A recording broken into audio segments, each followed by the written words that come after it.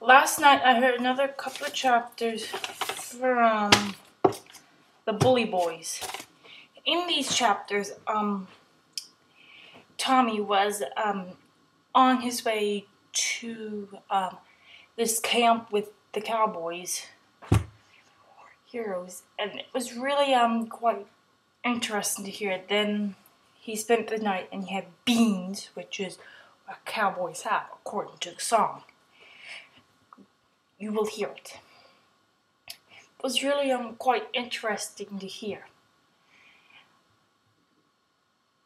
during the first world war um Great Britain and um, I forget what else, who else was fighting. It was really quite interesting to hear. I really can't wait to hear what happens next. I don't know what happens next. That's the interesting part to me.